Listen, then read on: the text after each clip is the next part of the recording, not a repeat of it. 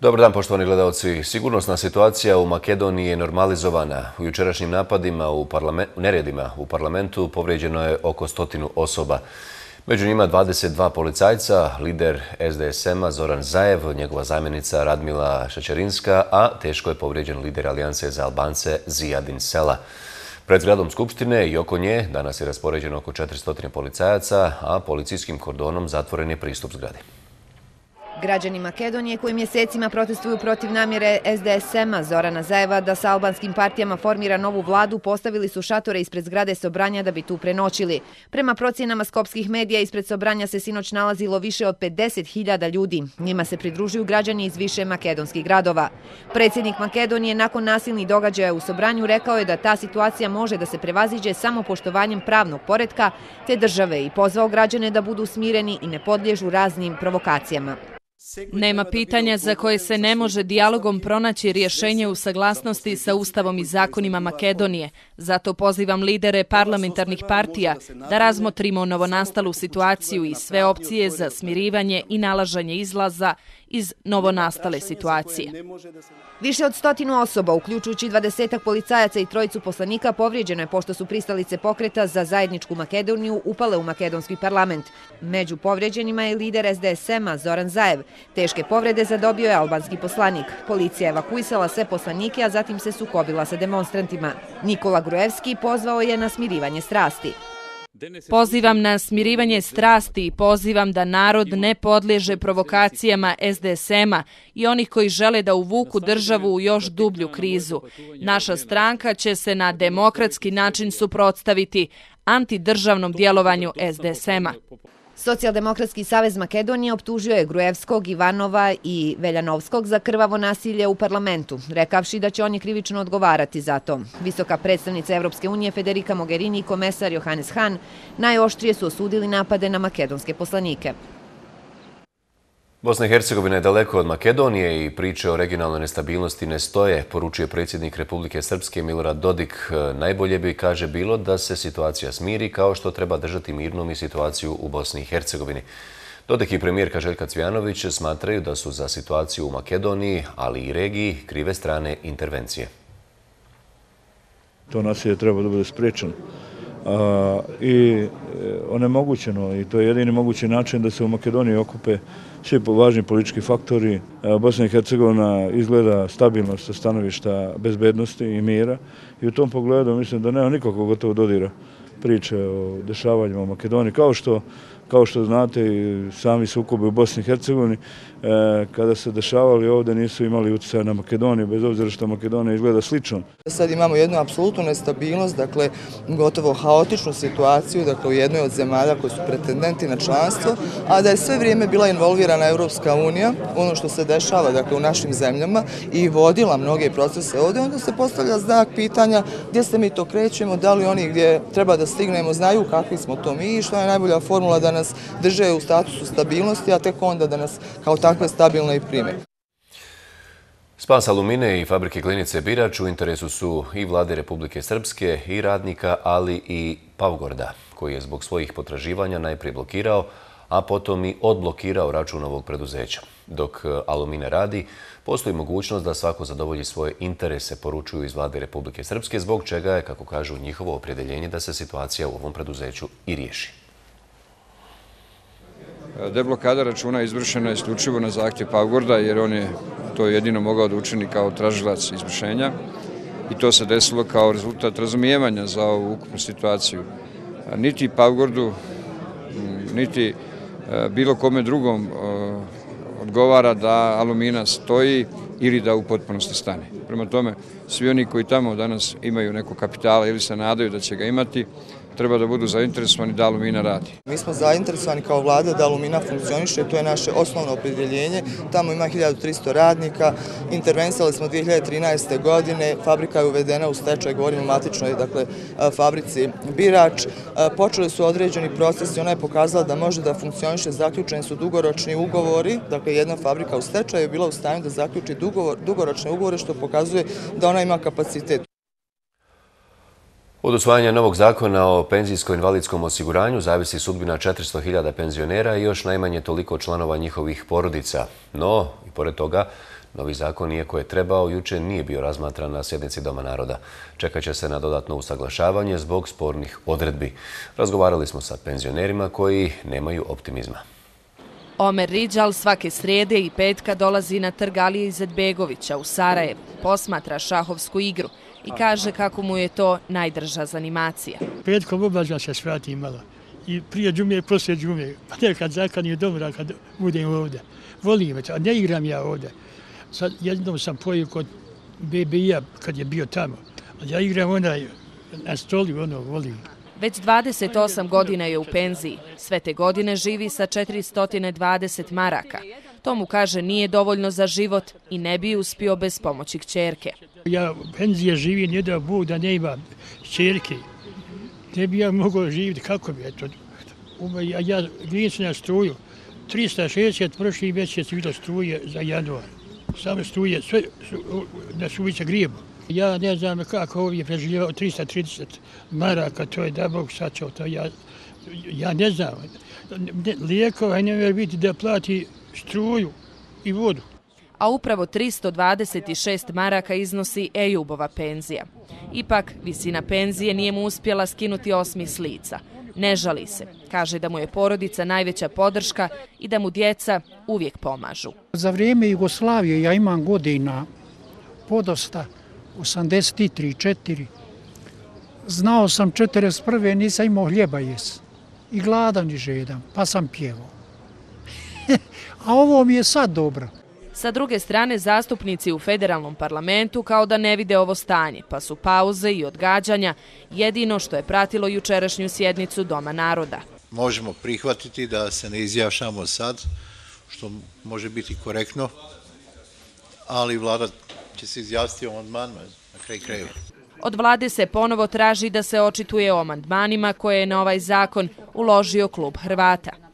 A vlada tvrdi da ne može izdržati nove finansijske pritiske, odnosno povećati opći bod sa 13,6 na 14,3. To je zahtjev od kojeg HDZ Bosna i Hercegovine već dugo ne odustaje, iako je uz vladu i ministrica financija koja dolazi iz reda HDZ-a kazala da je povećanje općeg boda pogubno za penzioni sistem. Drugačiji način obračuna penzija po bodovnom sistemu koji znači povećanje prosječne penzije. Prednost je zakona, kaže vlada. Po najavama budžet garantuje i redovne isplate svih penzija, obzirom da će se sredstva koja nisu dovoljna po uplati doprinosa namirivati iz budžeta federacije. Osigurava se i mogućnost odlaska u penziju nakon 15 godina staža. Ipak, vladi se zamira što novi zakon ukida zajamčenu penziju. Mi ovdje imamo situaciju da neko sa 65 godina starosti, 40 godina radnog staža će imati jednaku penziju kao neko ko je imao 15 godina radnog staža i 65 godina starosti. Zakon o fondu PIO ranije je usvojen u predstavničkom domu federalnog parlamenta. Sada se čeka sjednica Doma naroda 9. maja. Zakon je sastavni dio paketa zakona koji su neophodni za provođenje i reformske agende. U Srebrenici je formirana nova skupštinska većina, ovaj put bez SNSD-a. Poslanici ove stranke i DNS-a napustili su zasjedanje te na sjednici ne prisustuju predsjednik i do predsjednik Skupštine. Novu većinu čine četiri odbornika SDA, jedan odbornik stranke za Bosnu i Hercegovinu, jedan odbornik SDP-a, dva SDS-a, jedan SRS-a, jedan e, odbornik PDP-a i jedan odbornik e, pokreta za preokret. U okviru međunarodne akcije Balkan Trigger 2 pronađeno je i oduzeto više od 320 komada vatrenog oružja, uključujući ručne bacače, automatsko oružje te više od 19.000 komada municije. Akcija je realizovana pod pokroviteljstvom Interpola, a 23 zemlje Evropske unije su učestvovale u njenoj realizaciji. Cilj je sprečavanje i rješavanje ilegalne trgovine oružjem i eksplozivnim, i eksplozivnim sredstvima te organizovanog kriminaliteta, terorizma i krijumčarenja narkotika. Provjereno je više od e, 170.000 osoba, više od 40.000 vozila. Provjereno je više od e, 2.300 pošiljki pošiljke u cilju pronalazaka pronalazka predmeta koji potiču iz krivičnih dijela, odnosno pronalazka vatrenog oružja, droge i drugih sredstava. Akcija je konkretno usmjerena na borbu protiv neovlašnog prometa i trgovinu oružjem, kao i, nedozvo, e, kao i drugim oblicima organizovana kriminala, uključujući terorizam i droge. U realizaciji ove operativne akcije koja je trajala od 6. 4. do 8. 4. u popodnevnim satima, ukupno je učestvovalo 7850 policijskih službenika iz ove 23 zemlje. Bosna i Hercegovina je preuzela obaveze prema žrtvama u slučaju nemogućnosti naplate naknade štete od osuđene osobe. Stručnjaci koji rade u pravosudnom sistemu moraju naći načine kako se naplata može izvršiti. O tome je se razgovaralo na okruglom stolu održanom u Sarajevu.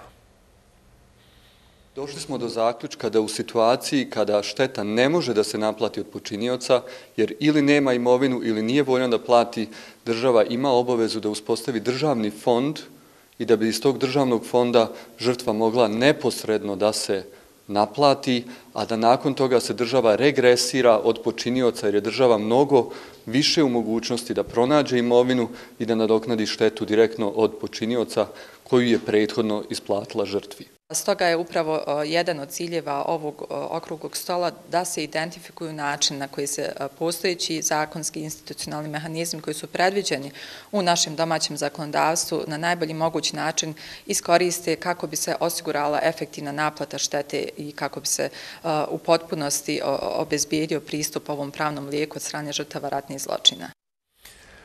Na šehidskom mezarju Kovači u Sarajevu otkriven je zid sjećanja sa imenima 6360 šehida i poginulih boraca prvog korpusa Armije Republike Bosne i Hercegovine. Porodice žrtava zahvalne su, kažu svima, koji se na bilo koji način sjećaju njihovih najmilijih.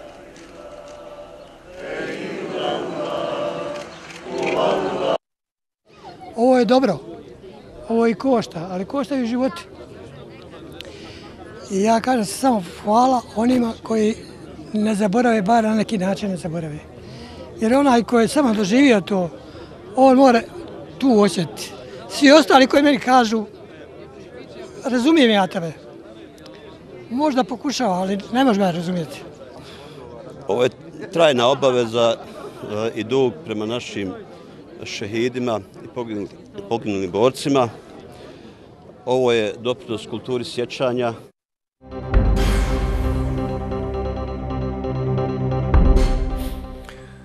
Most više nije dio Hrvatske vlade. Obraćajući se novinarima u Saboru, Božo Petrov je kazao kako će se Most uvijek eh, boriti protiv kriminala koji se odvija u Agrokoru, a koji, kako je rekao, štite i Andrej Plenković i Zdravko Marić. Klub zastupnika SDP-a podnio je predsjedniku Sabora prijedlog za pokretanje pitanja povjerenja ministru financija Zdravku Mariću. O tome će se raspravljati u srijedu. Podpredsjednik vlade Ivan Kovačić i ostali ministri danas će dati ostavke Mi više nismo dio ove vlade i ovim potezom pokazujemo da nam nije stalo do fotelja kao ni prošle godine kad je HDZ rušio svoju vladu, nego pokazujemo da nam je stalo do Hrvatskog ustava. Protiv terorističke policijske jedinice Velike Britanije spriječile su teroristički čin tokom racije u jednoj kući u severnom Londonu, tokom koje je ranjena jedna mlađa ženska osoba. Šest ih je uhapšeno. Bila je to druga velika sigurnosna operacija u britanskoj prijestolnici u razmaku od nekoliko sati. Policija je u četvrtak objavila da je uhapsila muškarca naoružanog noževima u jednoj ulici u centru Londona, nedaleko od zgrade britanskog parlamenta i službene rezidencije premijerke Tereze May. Afganistanski talibani najavili su dan e, Mujahedina, početak proljetne ofanzive, operacija Mansuri po imenu njihovog nekadašnjeg vođe. U objavi upozoravaju da će glavni cilj biti strane snage, njihove vojne i obavještajne infrastrukture te eliminisanje njihovih lokalnih plaćenika. Oko 12.000 vojnika zapadnih snaga, među kojima 8.400 amerikanaca, stacionirano je u Afganistanu pod okriljem NATO-a. Papa Franjo doputovao je u istorijsku posjetu Egiptu, sastaće se sa predsjednikom Al-Sisijem, imamom džamije Al-Azhar i koptskim papom, a održat će govor na međunarodnoj konferenciji. U Egiptu je trenutno vanredno stanje zbog serije bombaških napada u kojima je ubijeno 45 osoba. Sve crkve stavljene su pod poseban režim zaštite zbog rizika da bi se novi napadi mogli desiti baš u vrijeme posjete Pape Franje. U američkoj državi Arkansas Pogubljen je i četvrti zatvorenik za osam dana nakon što 12 godina nije izvršena ni jedna smrtna kazna u zatvoru u gradu Warner. Smrtonosnom injekcijom pogubljen je 38-godišnji Kenneth Williams. On je 99. godine osuđen na smrt zbog ubijstva koje je počinio nakon bjekstva iz zatvora. Williams je već bio osuđen na doživotnu kaznu zbog još jednog ubijstva. Dok je bježao, izazvao je sudar u kojem je poginula jedna osoba.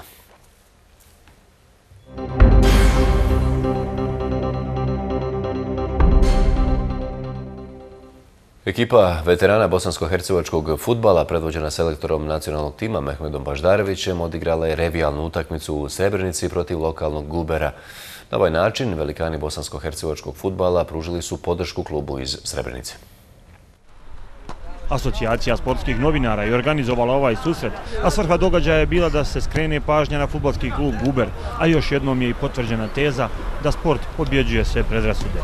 Ovaj sportski događaj je velikom broju građana Srebrenice, a prije svega ljubiteljima futbala, pružio priliku da na stadionu Srebreničkog kluba vidi nekadašnje futbalske zvijezde. Bili su tu Mehmet Baždarević, Savo Milošević, Vedin Musić, Njermin Šabić, Dževad Šećerbegović i mnogi drugi koji su svojim prisustvom uveličali lijepu sportsku priredbu. Podržimo ovaj klub i ove ljude koji rade za ovaj klub i mislim da rade izuzetne stvari, izuzetno dobro. Ja se nadam da će klub ići još više naprijed, a mi smo tu da pomognemo onoliko, onoliko koliko možemo. Znači najvažnije da smo bili ovdje i da ih podržimo sve onome što radi. U Srebrenicu je stigao i Savo Milošević, bivši reprezentativac Jugoslavije. Milošević je pohvalio svoje saigrače u ovom meču, ali ista kao važnost ovakvih utakmica. Dobro se nosimo sa momcima koji su otprilike, čak i meni koji sam među mlađima u ovoj ekipi mogu biti sinovi, tako da nije loše. Ovo su utakmice od posebnog značaja oni imaju jedan drugi značaj, ne ovaj takmičarski na terenu, tako da u svakom slučaju ove utakmice sam iz više sa mnogo aspekata mnogo bitnije od onih profesionalnih. Iako rezultat u ovim mečevima nije u prvom planu, napomenut ćemo da je ova utakmica završena miroljubivo 3-3. Toliko u Dnevniku 17, hvala na pažnji i doviđenja.